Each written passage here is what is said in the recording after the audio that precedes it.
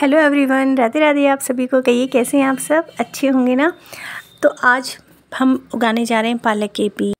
तो चलिए आइए, मिलकर उगाते हैं और आपको बताते हैं कि कितने सिंपल मेथड से हम अपने घर में ऑर्गेनिक पालक हम यूज़ कर सकते हैं। हर विंटर में हम ऐसा ही करते हैं हम बाहर का पालक बहुत कम इमरजेंसी कोई होती है तो ही ख़रीदते हैं, नहीं तो हम घर का पालक यूज़ करते हैं एवरी विंटर तो किस कंपनी की मेरे सीट थे वो आपने देख लिए हैं तो उनकी जर्मिनेट जो है रेटिंग वो क्या है, वो पता चलेगा। जब जर्मिनेट हो जाएँगे तो कुछ नहीं किया ये।